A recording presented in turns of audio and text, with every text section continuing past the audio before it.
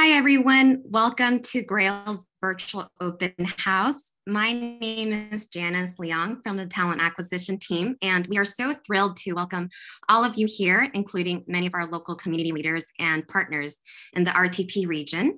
The opening of our RTP facility marks a huge milestone for Grail as we move forward in making our multi-cancer early detection blood test available to patients and healthcare providers. Today, we will have a Q&A session at the end, and if you have questions, please submit your questions through the Q&A function, and our speakers will do our best to answer your questions.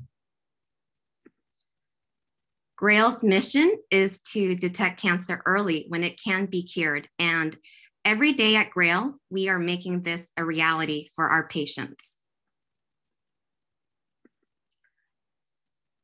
Our agenda today includes an introduction from NC Biotech President and CEO, Doug Edgeton, followed by opening remarks by Chair Brenda Howerton, Durham Board of County Commissioners. We will then have our site head and VP of Operations, Andrew Crenshaw, showcase our RTP facility, followed by our guest speaker and medical key opinion leader, Dr. Andrew Poklepovic of Virginia Commonwealth University Massey Center of um, Cancer Center, share more about GRAIL's technology and its impact to patients.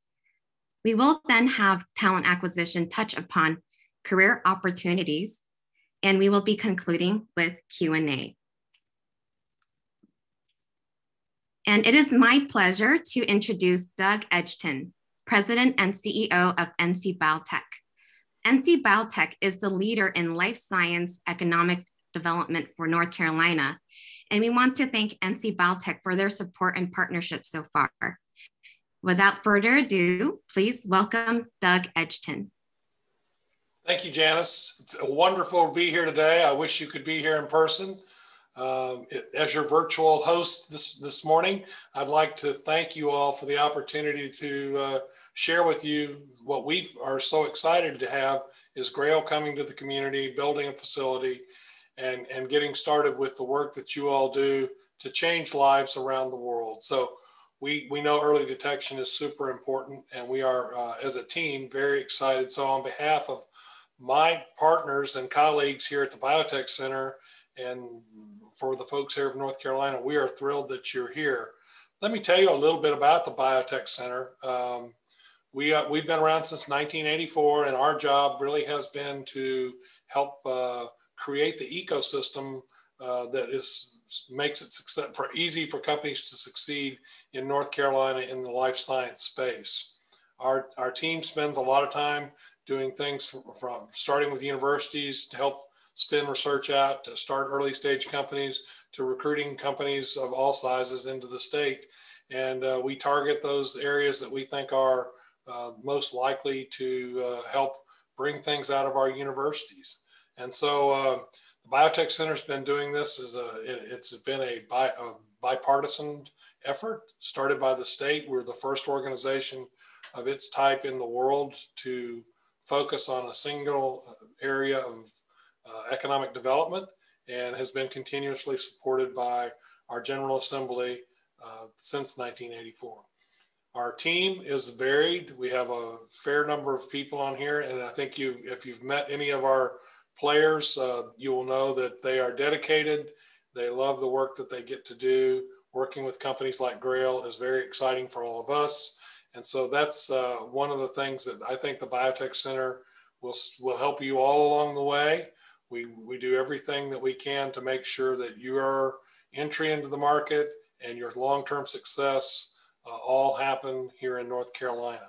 So I would say that uh, you know, in addition to the, the things the Biotech Center brings, the state of North Carolina brings an awful lot to the table with three comprehensive cancer centers in the state. Uh, there's only, I think, 58 comprehensive cancer centers in the country. So that number may have changed since I last was uh, working with them. Uh, nearly $200 million in NIH funding has uh, come in for cancer research into the uh, state since 2019. And uh, there's a strong alignment with the precision health initiatives and collaborative mission to accelerate uh, initiatives that foster research and enable providers to engage industry and empower the citizens to improve the health uh, around the state of North Carolina and around the country. I'll stop there and just again issue my uh, excitement that you're here and turn this over to uh, let me introduce you to Brenda Howerton. She's the chair of the Durham Board of County Commissioners. Thank you.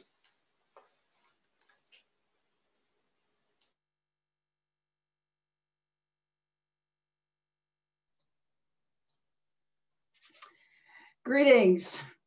On behalf of the Board of County Commissioners, I am delighted to join you today for this very special occasion in the life of our community. We are honored to celebrate this site unveiling with GRAIL and other community leaders. I can certainly say that our entire Durham County community welcomes the innovative work that GRAIL has undertaken in early cancer detection in pioneering a test that identifies more than 50 cancers with just a single uh, blood straw, draw.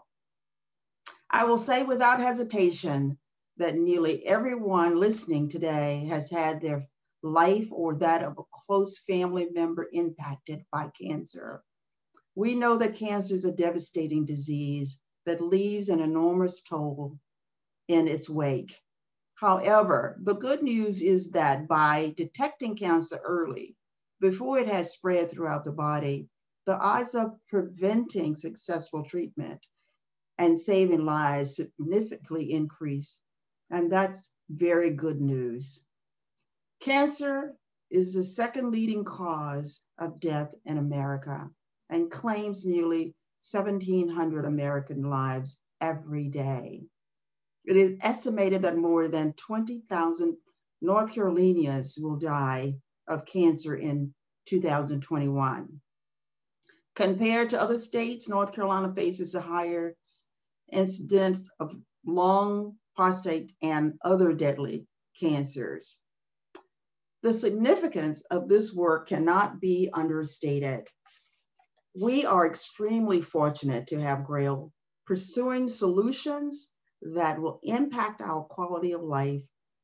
The jobs that GRAIL will bring to Durham cover a range of education and experience backgrounds. Every level position at this company starts with, a, with an associate's or bachelor's degree and exceeds our county's average wage.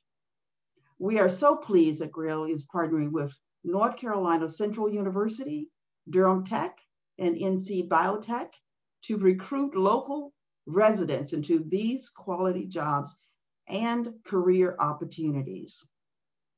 We expect great results from this relationship. The investment that GRAIL is making in our Durham community will be felt in many, many ways.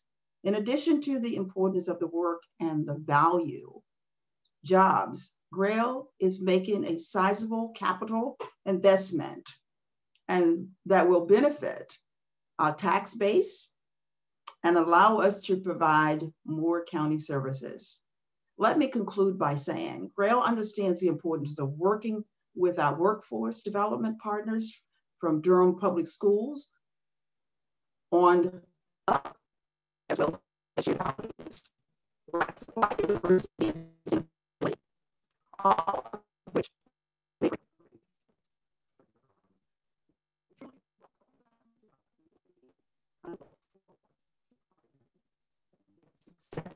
That.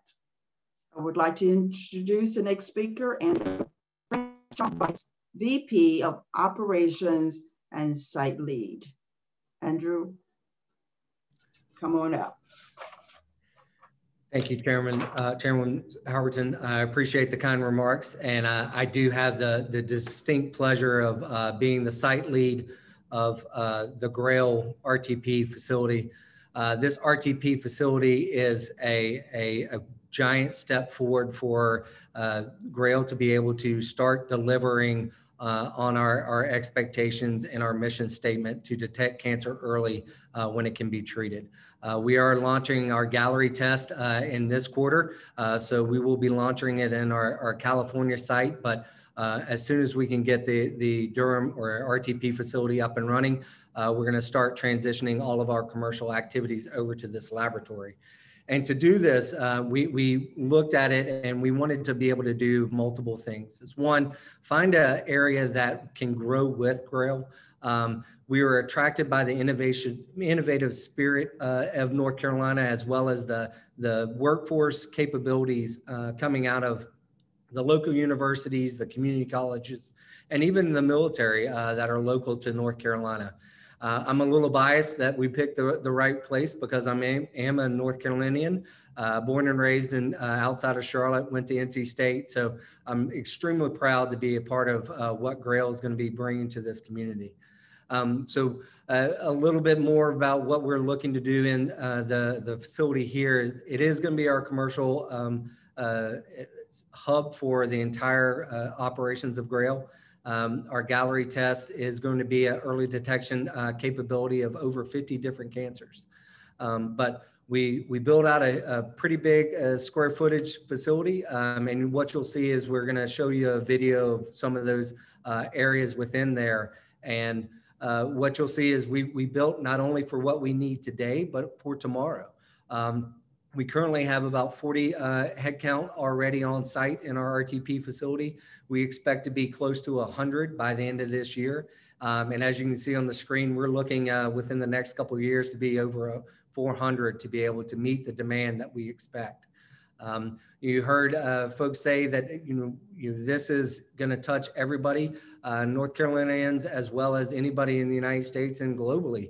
Uh, this is the, the first um, on the market type of early detection.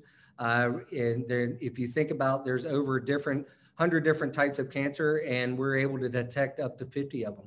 Um, and so uh, if you put that in perspective, there's only five uh, current um, early screening techniques right now on the market. And so uh, by doing a single blood draw, we're able to um, uh, utilize cutting edge technology to be able to bring this to our, our patients.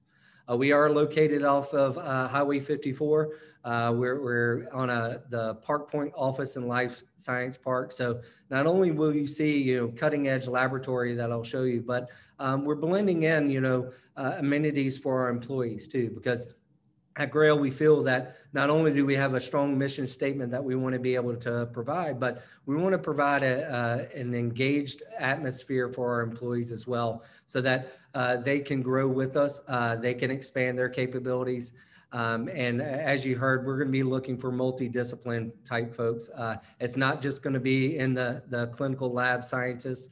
Uh, it's going to be an automation engineer to be able to do the volume that we're looking at over these years. It's going to be uh, a lot of automation, a lot of software development, um, uh, even into our warehouse and facility folks that are all going to be working with a common uh, goal in mind to deliver that mission of uh, Grail. Um, so without further ado, I'm going to uh, flip it to the next slide and uh, show you a little bit about our facility.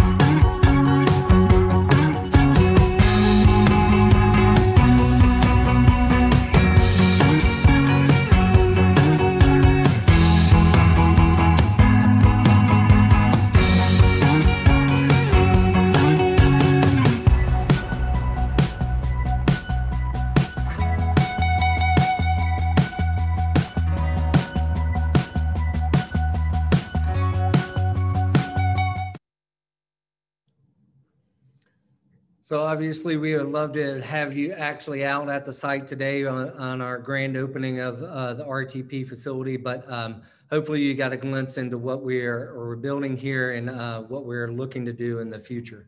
Um, but beyond that, uh, I have the great pleasure of introducing our ne next speaker. Uh, Dr. Andrew Poklepovic is a medical hematologist and oncologist at the VCU Massey Center uh, Cancer Center's Development Therapeutics Research Program. Um, prior to completing his residency and fellowship at VCU Medical Center, um, he received his undergraduate degree from Emory University and earned his medical degree at the University of South Florida College of Medicine. Uh, currently, Dr. Popovich is leading clinical trials testing new therapies for various types of cancer. So we're excited for him to be able to talk a little bit about what Galleri means uh, and uh, the early uh, detection technology that we're trying to put onto the market. All right, thank you, Andrew.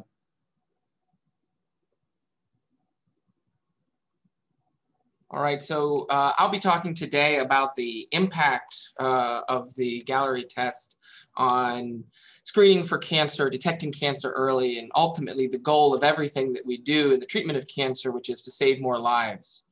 Um, as you know, cancer affects many Americans and many people over the and around the world. Um, the incidence for a female in her lifetime is one in two, and for a male, it's one in three. And so every family ends up being affected at some point in time with cancer.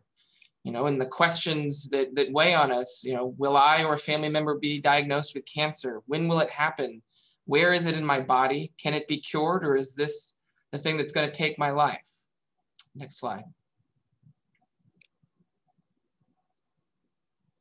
So the US Preventive Services Task Force does have guideline recommended screening for some cancers. We have breast cancer screening with mammograms. We have colon and rectal uh, cancer screening with colonoscopies and fecal occult blood tests. We have lung cancer screening with low dose CTs and heavy smokers. We have cervical cancer screening.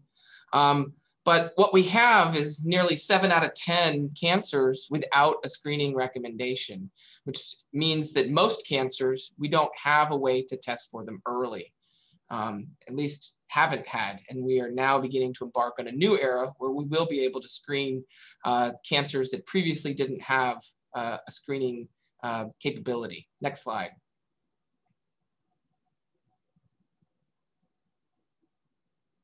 So thinking about the cancers that are not found by the standard of care today, out of about 422,000 cancers total, about 100,000 of them have a Preventive Services Task Force category A or B recommendation, breast, colon, cervical cancer, and lung. And then there are 327,000 cancers with no recommended screening, including those that have really poor long-term outcomes, primarily because they're diagnosed late things like ovarian cancer and pancreatic cancer, uh, and some of the hardest cancers to treat uh, end up having no real effective modality for screening to catch it early. The cell-free DNA-based um, multi-cancer uh, detection assay can detect over 50 cancers. Next slide, please.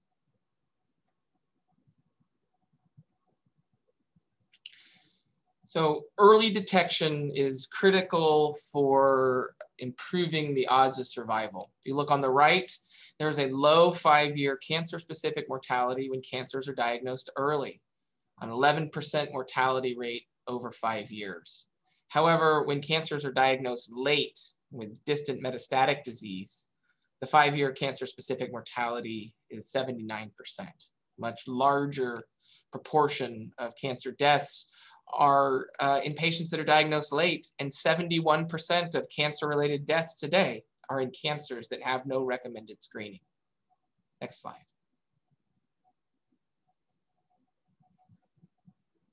So the need for better screening now. This is a, um, sort of what happened about a year ago when COVID uh, led to shelter in place and reduction in outpatient procedures and non-essential medical tests. You see that there were major reductions in mammograms and pap smears, colonoscopies, CT scans, and PSAs. Um, which will likely lead to later presentation for patients over the next several years. Um, I've seen that with a few cases myself over the last six months. Um, but even with these types of reductions, they are re returning back towards their baselines. But really, for the vast majority of cancers, we're like that all the time. We don't have a way to screen for pancreatic cancer. We don't have a way to screen for ovarian cancer. So this is really what all other cancers have been facing for years to come. Next slide, please.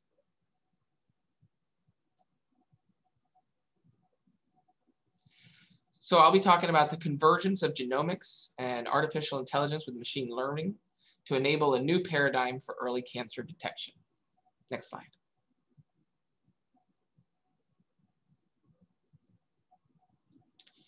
The Galleri test is expected to increase the total cancer detection threefold when added to recommended single cancer screenings. There are approximately 1.3 million cancers in the US detected between patients aged 50 to 79. Stool-based screening for colon cancer will detect about 65,000 cancers. Sensitivity of 92%, the specificity is low, uh, so the positive predictive value remains low with about 3.7%. Mammography, a well-accepted screening tool, will detect about 116,000 cancers with a sensitivity of 87%. Um, lower specificity, so a positive predictive value of 4.4%. Combining all the single cancer screenings, uh, about 200,000 cancers will be detected. With the Galleri test, there is a 12 pre-specified cancers, um, some of the most dangerous and lethal cancers. That can detect an additional 331,000 cancers with a sensitivity of 73%, very high specificity, leading to a positive predictive value of 36%. And then the Galleri all cancer, the greater than 50 cancer assay, uh, has a sensitivity of 47%, extremely high uh, specificity, with a positive predictive value of 43%.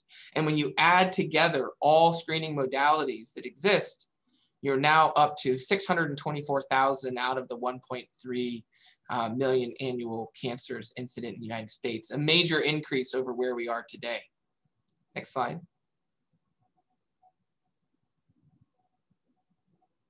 So some of the key features. Um, there are greater than 50 uh, cancer types that can be detected, including hematologic malignancies, sarcomas, um, GU cancers, um, rare cancers like pleural mesothelioma, lymphomas, gallbladder, pancreatic cancer, a positive predictive value of 44%, which is about a log higher than what you get from uh, mammography for breast cancer, a false positive rate that's very, very low, 0.5% and it's able to pick up early stage cancer when treatment options are, are more broad uh, for curative intent. 41% sensitivity for all cancers, stages one to three, and 68% sensitivity for uh, the 12 pre-specified high-risk cancers that actually represent about two-thirds of cancer mortality in the United States. In addition, um, due to the nature of the assay with the uh, methylation analysis, they can actually predict the cancer signal of origin, meaning we believe that this test says you might have cancer and that you'd have cancer of the head and neck region. And it can do that correctly 89% of the time to really help guide the clinician towards where to go evaluate the patient for cancer. Next slide, please.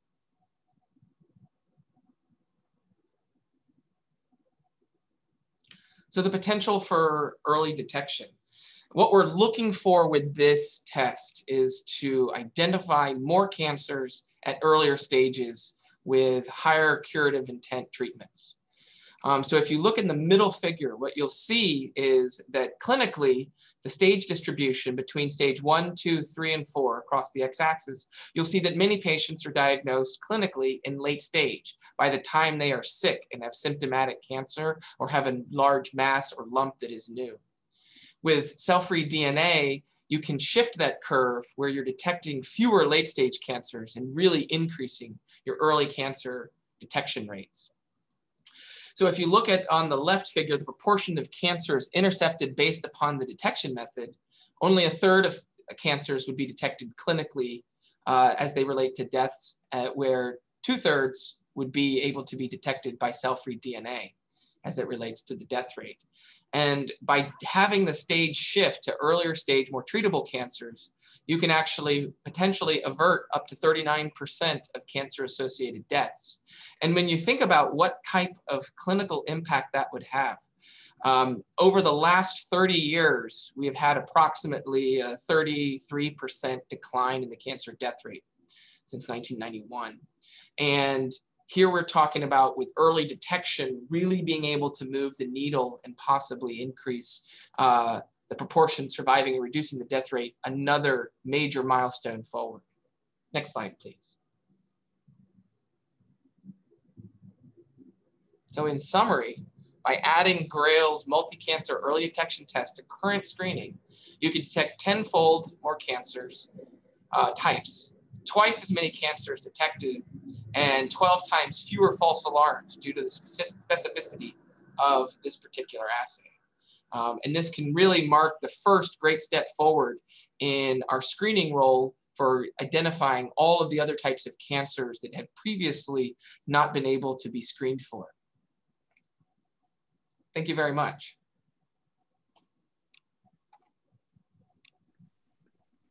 Thank you, Dr. Poklepovic, for providing your insights. Um, next, we're going to have our talent acquisition team talk about um, some of our career opportunities.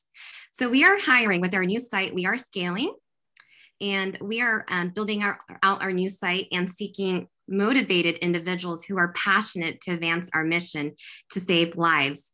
We have many career opportunities across the clinical laboratory, research and development, automation, process engineering, equipment engineering, manufacturing science and technology, supply chain, and new grad opportunities uh, for those who are graduating uh, this year. And I would like to introduce our RTP talent leader, Jennifer Montalvo. Thanks, Janice. What an amazing world we live in that we can host an open house now virtually, right? You know, in fact, over this past year, our talent team has been busy hiring virtually too. I admit, though, I actually am looking forward to the day when we're all together, finally live in this beautiful new building that you all just saw. I am absolutely honored to be part of this local talent team, adding amazing professionals to this brand new RTP site. And Janice is right. There is not a more exciting time to join GRAIL. We're literally building from the ground up.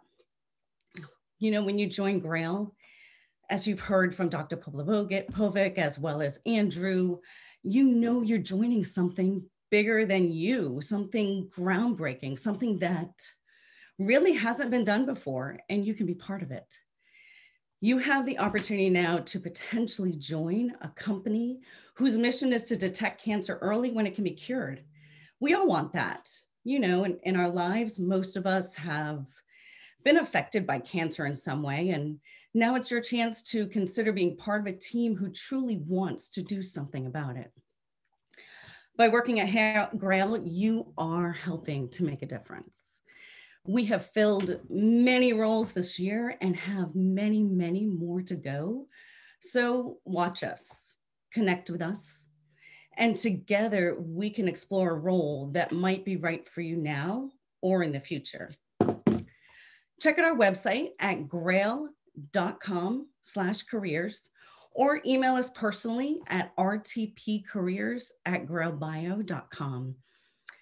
Grab a pen and paper. I may have said that fast, so I'll repeat it one more time. Check out our website at grail.com slash careers or email us personally at rtpcareers at grailbio.com. I look forward to possibly connecting with you at one point or another in the near future, but thank you so much for letting me be part of this team. Finally, it's my pleasure to introduce you all to Molly Rhodes, who will lead us through our Q&A. Thank you, Jennifer. We do have a few questions that have been coming in through the chat as well as the Q&A box. If you do have a question you'd like to submit, please do submit it through the Q&A. Um, we'll try to go ahead and address uh, as many of those as we can during this time. Um, we do have one question around um, uh, if this recording will be available to share uh, with possible candidates afterwards? And the answer is yes. Um, everyone who is uh, a registered attendee at this event should be receiving a recording of this uh, entire presentation within the next couple of business days. Um, we do have another question around um, the what areas in which the organization is engaging with the local community. So I'd like to kick that question over to uh, Janice Leung or um, anyone else who would like to, to respond to that question. Thanks, Molly. So um, this year we are um, definitely getting engaged with community partners and um, meeting um, leaders and partners in the community through business networking groups and diversity groups and um, also with universities. Uh, we do have a plan this year to um, further engage with recent grads and career, um, sorry, and universities um, later in the fall as well. And um, I'll also kick it to Andrew Crenshaw, who could elaborate more on that.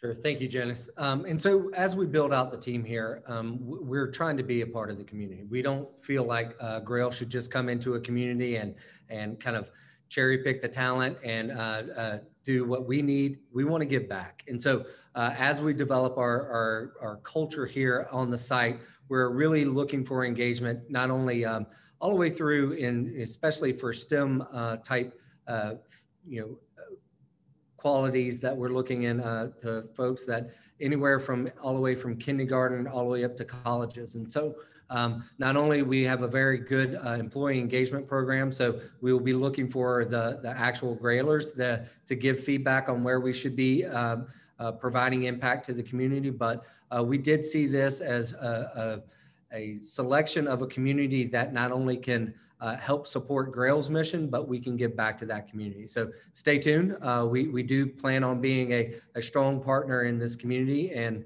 uh, being engaged in all aspects of the community. Thank you, Andrew. Um, we do have another question from Kevin. Um, this might be most appropriate for Dr. Poklepovic uh, around how often the GRAIL test would be or perhaps should be performed. Is this typically at annual checkup or other, um, what might be the typical standard of care with Galleri? So yeah, I've been thinking about this, and I think that over time, the the, the optimal timing of when this test should be performed will come into greater focus. Um, I first envisioned uh, blood-based cancer screening to be something that occurs at the annual history and physical with a patient's primary care doctor. Um, as sort of, that's kind of the thing that I see as the future of, of these types of non-invasive testing. You're gonna go, you're gonna get your cholesterol checked, you're gonna get your cancer screen, um, all the other healthcare maintenance things that you do. And if something triggers a signal, then that moves along.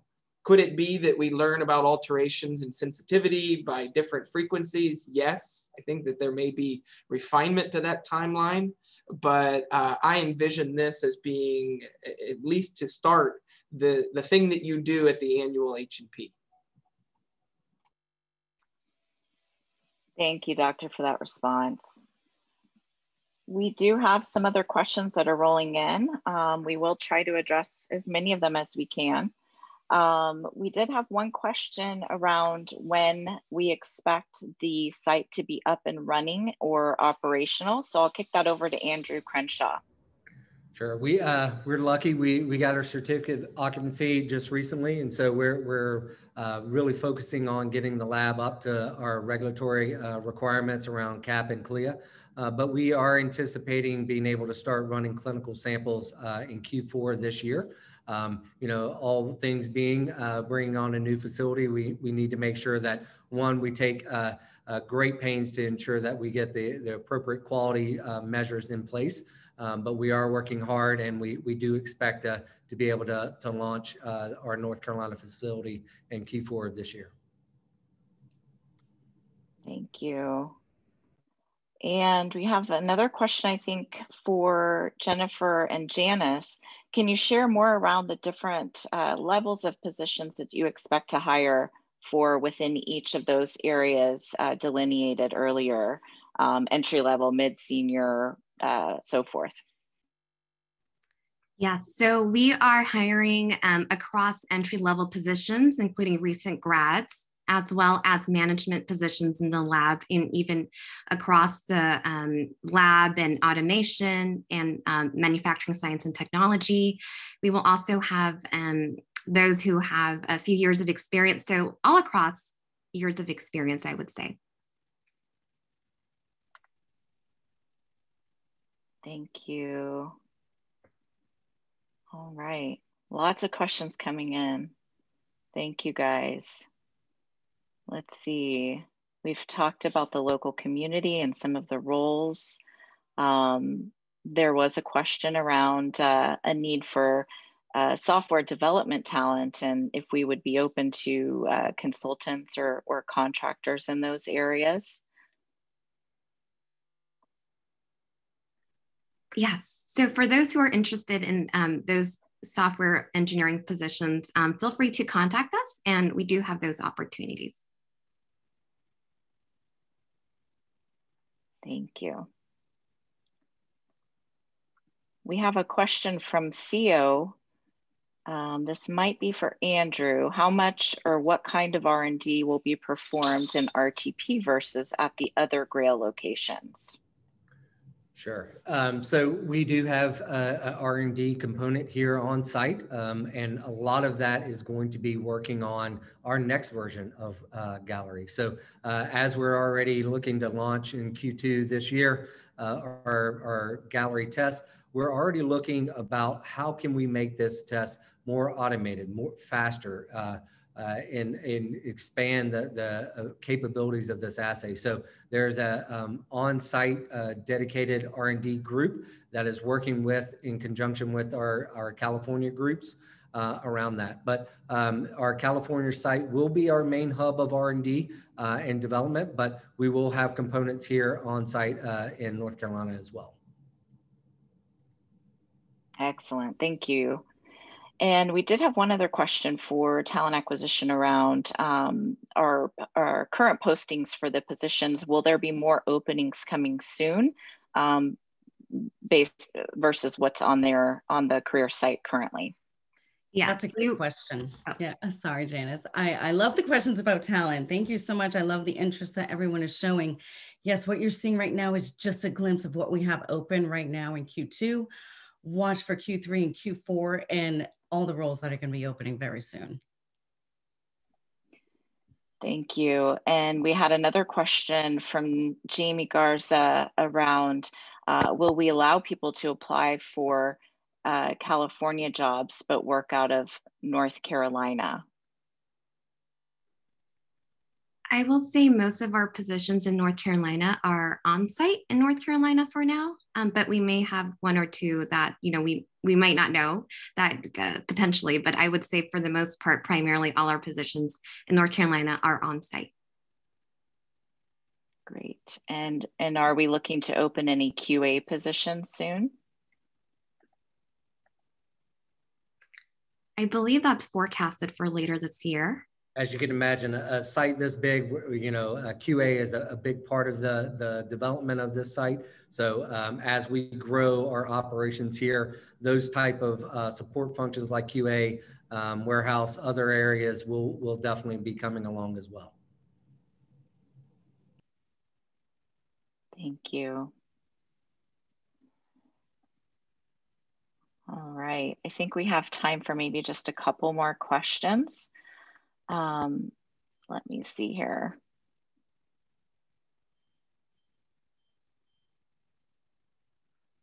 Let's see.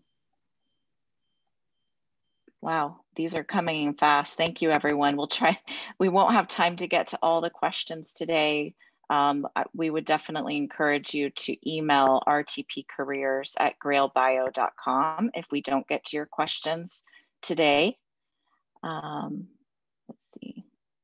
A lot of program manager jobs require a science degree. Do you see any changes to that?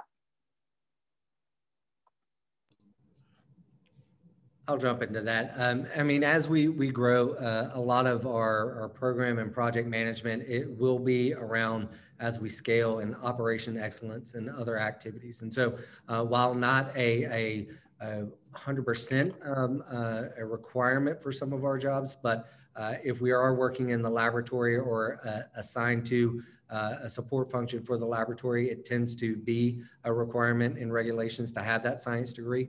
Um, but as we bring on more program and project management for the site for larger initiatives and um, activities like that, there will be capabilities of folks uh, coming from more diverse backgrounds. Thank you.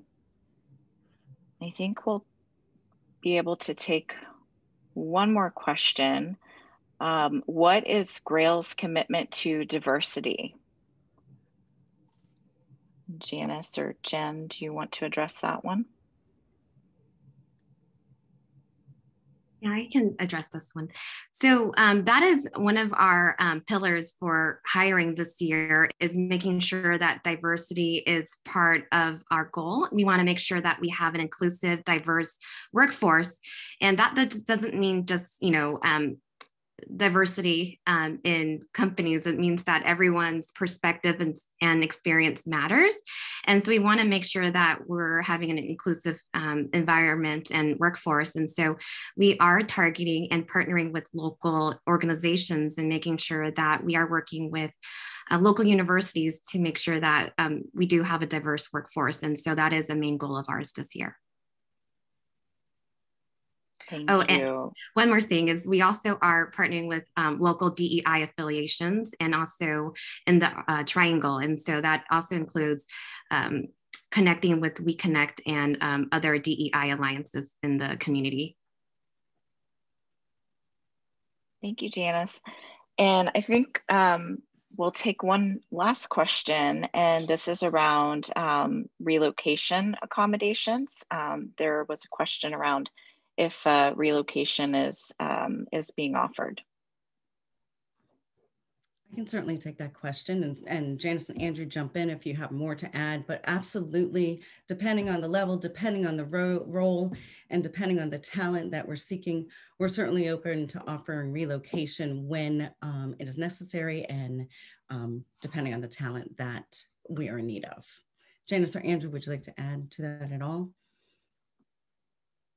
Yes, so we are open to relocation for uh, some of our roles. Um, and so that is, um, we are taking applications for our positions. Um, you know, whether you're out of the state or out of the county, we um, are talking to candidates wherever.